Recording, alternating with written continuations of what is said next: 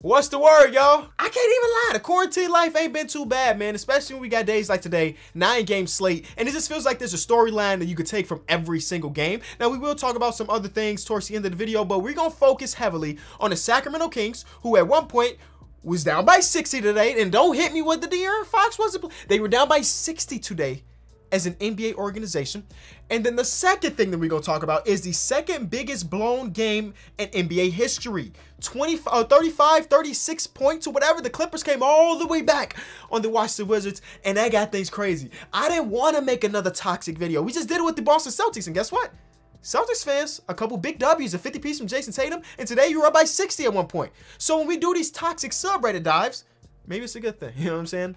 So uh, the Washington Wizards, let's focus on them first because I was watching their game and they were up by so much I turned it off. I'm like, why do I have to watch the rest of this? Daniel Gafford started off really, really nice and really good. And of course, with no Paul George, no Kawhi Leonard, no this player, no that player. It's like, okay, I like watching Amir Coffey. Luke Kennard could get could get hot, and Reggie Jackson's been a surprise. But like, there's not really a lot to watch. Boom, game over, right?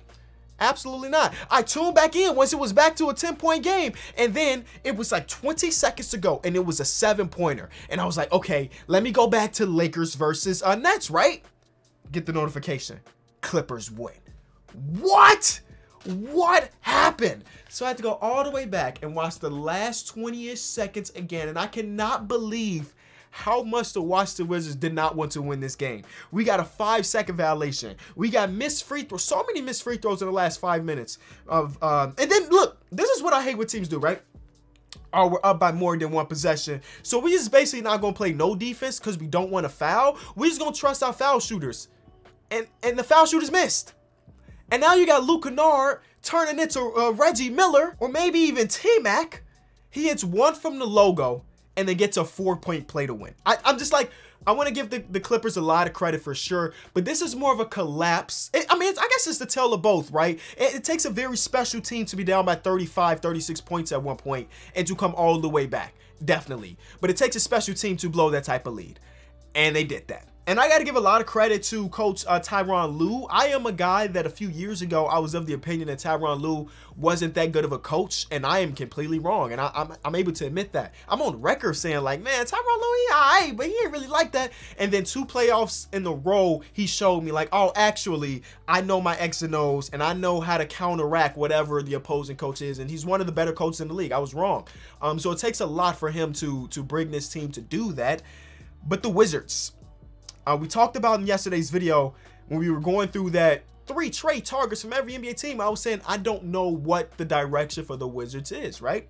Uh, because they have so many quality NBA players on their roster, they were running like an 11-man rotation in the first half of a game. And you got some players that are not getting a lot of PT that are worried they're getting PT, but they got all of that. I'm saying all that, and they are struggling to win games. This team is one of the hottest teams in basketball once the season started, and they have been going down and down and down. And Kuzma in his post-game interview was like, hey, something's got to change. And then the uh, spaces happen.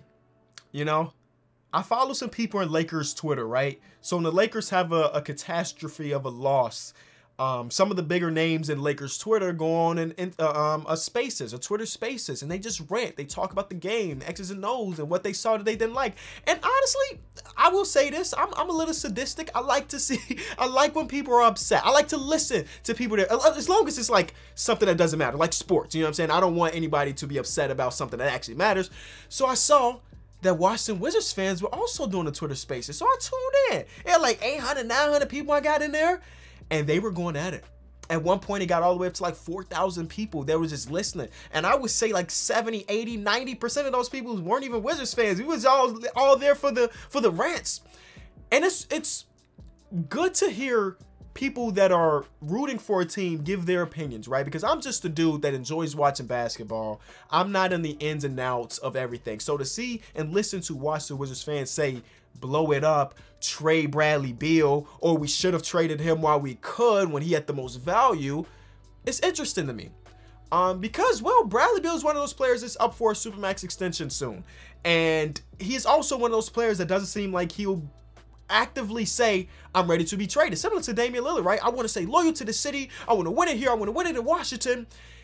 And and though the fans, I think the fans do adore Bradley Beal and what he has done for the team, and you can argue what that really has he done what he has done for the team based on that Twitter spaces a lot of them want to see him gone and it's not like oh we hate him it's like what is the ceiling with Bradley Beal as your best player right Bradley Beal probably more of a two on a really good team than a one on an okay team right we talk about an all-star player but he's just an all-star player right? And what is the value of what Bradley Beal can, what can he bring at the deadline if you were willing to trade him? A little while ago, it was like, hey, we could get us Ben Simmons for him. Is Daryl Morey thinking about Bradley Beal when he got the other rumors about James Harden that's dropping? I will say, um, I, I wouldn't be surprised if it was Daryl Morey and the 76ers throwing out all these rumors because they want the world to believe. Anyway, so I don't know. I know that was a long intro to say, hey, let's go into the Watch the Wizards subreddit, but that's what we're about to do. Oh, we are we getting Ben Simmons photoshopped in Wizards jerseys on the and it's got 130 upvotes. They ready for it. They ready for it, and I don't, I don't blame them. They got G Wiz saying that he trying to explore other options outside of DC. David Aldridge, the most pathetic performance in 40 years of covering the Wizards. That's David Aldridge. 40 years. I've been seeing a lot of these on Twitter um, because Spencer Dinwiddie hasn't really played, has not really, he has not played well in Washington. He's got a couple like 20 point games under his belt, but for the most part, he hasn't been nearly as as good of a player as they expected. Again, he's coming off a major injury, so I may want to give him a slight pass there. But but okay, let's go to the new post. We just witnessed the NBA version of 28 to three. I'm not going to elaborate on that um, especially since this a grander scheme is the Super Bowl rather than the random regular season game in January. But I understand what you're kind of saying. Get rid of Bill. Get rid of him at all costs. I don't care if all we get is a second round.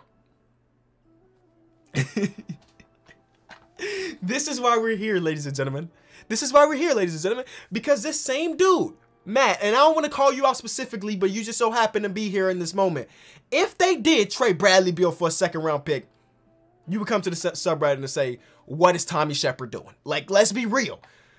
I don't care if it's a second round pick. He must not be re-signed to a max deal. And this says resigned. Re-signed is R-E, like dash signed because this is resigned. But I understand.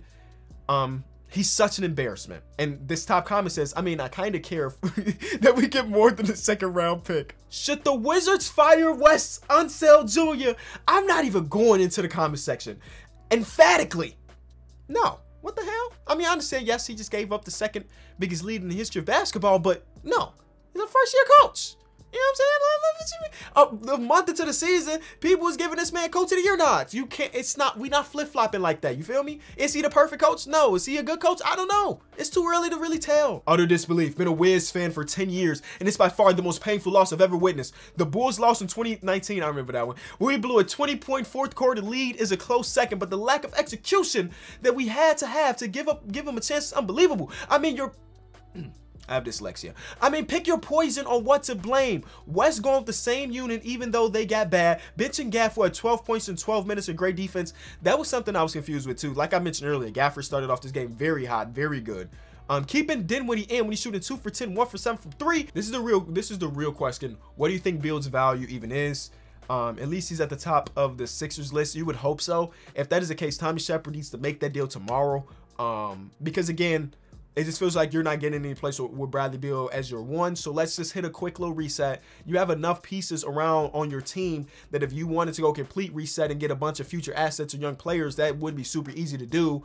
Or you could just bring in Ben Simmons, what you currently have, and just let just rock what you what you got. Would people be open to a Michael Porter Jr., Zeke, Bones, and Picks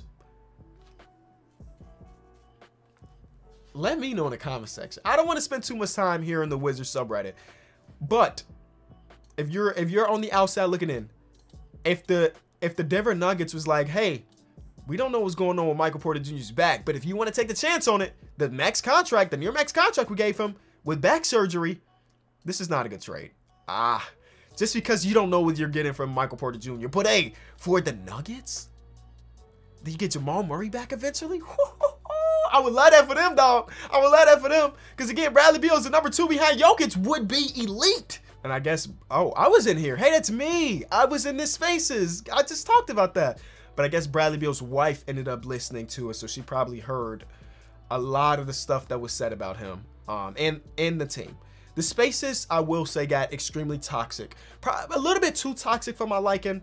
Um, but hey, a lot of people was in there. Again, as an outside NBA fan, this is great for me just because does that open up the eyes of the Washington Wizards to make some trades. We'll see. Um, the next big game that we want to spend some time on, and not as much time as the Wizards one, because that the Wizards one's like a once in a lifetime. Again, the second biggest lead in NBA history. Um, the next one is the Kings being down by 60 at one point. Um, this is from the Jays, Jason and Jalen. And if you've been around the channel for the entire season, you've watched all these videos, you will understand why I say I'm not going to talk about the Celtics. If you know, you know. I'm not I'm not about to do that to y'all again. Um, but it was good to see the Jays on the same page again and get a win. We're going to leave it at that. The Sacramento Kings lost this game. Harrison Barnes shot 1 for 12. Um, Tyrese, 22%. The team as a whole shot 30%, 18% from 3 and it was one of the most embarrassing losses of their season, which is saying something because it's the Kings, right? Um, no De'Aaron Fox, but still, I, again, I don't care what team you throw out on the court as professional athletes, prof professional basketball players, you should never be down by 60. And this is a team that, for the most part, is only missing De'Aaron. Um, Tyrese, Richaun, Bag, and Harrison Barnes, um, even TD, Mo Harkless, Davion, Buddy Hield, these are guys that are in their real life rotation. And yes, they're missing their best player, but you were down by 60. It's not about you losing, it's about how you lose in this case. And the only person on the team to score double digit points this game is Buddy Hield, and it took him 14 shots to get 11 points. It's bad. It was really bad. And there's a lot of rumors going around in the Sacramento Kings in the last month or so about, hey, we might be willing to take on Tobias Harris's contract to bring in Ben Simmons. We might be willing to trade De'Aaron Fox for the right package. We might be willing to throw Tyrese Halliburton and a bunch of picks to get Ben Simmons. Just so many things are, are behind the scenes right now as far as the rumor mills go with the Sacramento Kings that a loss like this, another eye-opening loss. Again, with all of that being said, as crazy as it is, because of the play-in, this team Oh, no, this is a big loss. Actually, the Spurs won today. And now the team that was sitting at 11 is now 13. Again, it's only one game difference between 13 and 11, but they're still in the hunt for a playoff spot or a play-in spot, which again, semantics, I'm not calling the play-in playoffs. If the Kings ended up making a play-in, don't tell me that their playoff streak is over or a drought is over because they're not. You have to be in a seven-game series in my own personal eyes. Anyway, I did want to dive deep into their subreddit. Welcome to basketball hell. Is is I don't know if this was like this yesterday. I don't know, but that's amazing. This is indeed basketball hell. Hey, ain't even gonna hold you, bro. A video like this as a fan would drive me crazy. Bro, we lost. We the final score we lost by 53. I don't care about you dapping people up. You know it's the NBA. You only play this Eastern Conference team uh, uh, two times a season. What is you so happy for? We lost by 50. And you, he not just like, oh, what's up, bro? That, he is like cackling, laughing. And, and you know what? This, the funny thing is, we saw something like this before with the Bulls a couple years ago. The Bulls gave up a huge lead to Chris Paul and Shai Gilgeous-Alexander, OKC Thunder. And after the game, Wendell Carter and Coby White took pictures with Chris Paul because they played for Chris Paul's like AAU team. And I will be honest, in that moment in time, I was a low-key mad. We just blew a 20-point lead in the fourth quarter to, to Chris Paul. And we like, ah, oh, dang, we lost. Jeez, like, come on, dog. So yeah, I understand why this makes a lot of people mad. I understand it. No, this is a good point. That's Buddy, only person to score more than 10 points healed for uh, to you. Hey, Buddy might be smiling like, hey, I, I was our best player today. I was the MVP of us. So hey, I ain't got no reason to frown. Nah, that's that's trash. We gonna get to this post game thread for sure. Somebody asked, what can we do as fans? Suffer. Got you. I'm a clown for paying for this. And bro got good tickets too. He paid a lot of money for that just to see his team lose by so much. Um, yeah, I screenshotted about this point too. 33 points is kind of ridiculous. No, you know what? We can get out of here. Let's talk about the other games. Let's start off with Joel Embiid. I dropped the whole video about why Joel Embiid should be an MVP conversation. So if you missed that um, a little while ago, I recommend going to watch it. But today, a 42, 14, and 4 game where they were, um, at one point, I was watching this game and there was a graphic that popped up on screen. Joel Embiid and Tobias Harris had scored the last 35 points for the 76ers at one point. Those two players had scored 35 points in the row. No other person to touch the ball for the 76ers had scored, which is crazy. Um, and yes, uh, Hernangomez did almost give him 30 or 10 on the other end, but whatever. You win a game. Mean, it's another 40 piece. I mean, he's averaging like 40 something points per game this year or something like that. Uh, next game, Nikola Jokic versus Cade Cunningham. A matchup I didn't think I needed to see. This year's draft class has been so amazing. Um, it has been a lot of Evan Mobley being number one for me personally, but climbing up the ranks is Cade Cunningham. If you were to ask me right now who is your rookie of the year, I think it is still Evan Mobley, but it's not like he's untouchable. Cade Cunningham is really coming for that. So you got Evan Mobley, Cade Cunningham, you got Scottie Barnes still. Mo Wagner had a couple, like a month and a half stretch where he was in, uh, incredible. Josh Giddey, Jonathan Kuminga today. Again, when Jonathan, Jonathan Kuminga gets minutes, he hoops his butt off. James Bouknight today. I saw a statistic that was like when James Bouknight gets over 15 minutes per game, he's averaging like 15 points per game. So um, Ayo Dosunmu, who just had almost a perfect game a couple nights ago. This draft class just has so many quality NBA players right now as a rookie. Like this draft class, again, it, it depends on how they progress, who's going to be a superstar, yada yada. But strictly based on impact on their rookie season, this draft class has got to be towards the top. It's got to be like top five. Not to mention Chris Duarte had like 27 points in the game that they beat the Warriors last week. And you still got Herb Jones too. So Cade Cunningham in this game um, was incredible. And I saw a statistic. It was like one of those super cherry pick statistics, but I like super cherry pick statistics. So if you see a cherry pick statistic, please send it to me because I enjoy those, okay? Only rookies in NBA history with 34 points, 8 rebounds, 8 assists, 4 blocks in a single game. Super cherry pick. But it's only a company of two. It's Michael Jordan and Cade Cunningham, ladies and gentlemen. There's a point in this game where Cade hit a three, got a block, laid it up, got a stop, and then hit another three. And like, and if I'm not mistaken, it was either late third quarter, early fourth quarter, where he was trying to keep his team in the game. Again, this is the Pistons. And this is the Pistons without Jerami Grant in the lineup. You know what I'm saying? This is not a good team by any measure. Cade Cunningham made this a game. And no, he didn't shoot any free throws, but when I watched that game, there was multiple times where he could have got a foul call. And I think in his post-game interview, he said, oh, I think I got to scream louder when I get hit. Yeah, why not? Why not? Everybody else say, hey, when they go up and get contact, you need to do that. And yes, as a rookie, you probably not going to get a lot of calls, but he deserved to at least take a couple free throws in this game.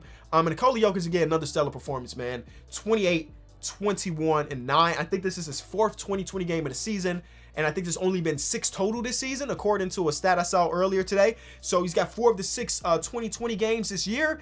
Just incredible how he's able to do literally everything on the court for his team. Next game, uh, Pascal Siakam with a 20, uh, 24, 12, re uh, 12 assists, 9 rebound game. Got that one rebound away from a triple double, but this is a big win for the Toronto Raptors, who at one point was on a super hot streak and then cooled down. And now with a win like this, they back up to the eighth seed, which is good for them. You want to be eight. You don't want to be nine or 10. You don't want to be the team that needs to win two games. You want to be a team that only needs to win one to secure their playoff spot. The Lakers win a game when Anthony Davis came back. Now, Anthony Davis only played 24 minutes and only scored eight points, but they didn't really need him to do anything because you got the Brooklyn Nets who are just going through it. Kevin Durant is gone. This is a home game, so no Kyrie Irving. James Harden had a stellar performance, but like it's it's only so much he could do in this one. And um and they were asking him things after the game about the rumors that were associated with him. Like, because there was a rumor that came out today that he's not enjoying his time in Brooklyn because of the nightlife and, and because of the city. He really enjoyed how Houston's was and this and that. And they asked him about it at the end of the game. He said, Did you hear that come from me? They said, No. He said, Okay, then. Um, so we'll see how true those James Harden rumors are. I'm sure it depends on um, the playoffs. Will the, the Brooklyn Nets go on to win a championship? Does that matter his decision this offseason? But it is interesting to see some of the things that are coming off. LeBron had a streak, and, and I think this is the third quarter where he got a block, dunk, steal, dunk. The man has just been incredible. I don't know what else I can say about LeBron James this season. He's been great. I want to see the Lakers pile on a couple of these though. With Anthony Davis being back, it can potentially lighten the load for Bron, so you don't have to average 40 points per for them to even even be in games. Um, but hopefully AD can get back to complete health, and boom, just like that, a team that we were making fun of as a 500 team might be slightly above 500. Maybe. Who knows? Probably not, because that's just the way the league goes. I mentioned Jonathan Kuminga uh, it just seems like anytime he gets big time PT, he has a crazy, crazy game. In this one, 9 for 10 from the field, 4 made threes from the guy, and 22 points in 17 minutes. behind the back pass from I think it was Klay Thompson at one point to Jonathan Kuminga, and they just blew this game out of the water. I stopped watching this very early on, honestly. So I didn't even get to see the Jonathan Kuminga minutes, honestly. I'll watch him though. You know what I'm saying? I, I like to see rookies hoop, and he's a rookie hooper. And then lastly, Ant went out for a 40 point pointer, not an assist to his resume. Didn't need to. Didn't need, didn't need to get one. There's a, a streak in this game where he was getting bucket after bucket, a steal, a dunk, and then he had hurt his leg and he had got up. He got checked right back into the game. But who closed it? Who iced it? It's this guy. It's Mr. Ice in the Veins. And he did that um, goaltending game winner shot, yada, yada, yada. And, you know, I was watching this game with my boy Derek, who's a Portland Trailblazer fan, and he was just so upset. And I had to remind him, you're not playing for anything. It's better that you lose. It's literally better that you lose. So, it's, it's okay. Shout out to I don't even remember who got the uh who got the goaltender. Was it Robert Covington? Shout out to Robert Covington, keeping them in the losing column. And yeah, there are some games that, that I didn't mention that I did not watch. Happened to be a Spurs game again. My apologies, Spurs fans. That's just the way it goes sometimes.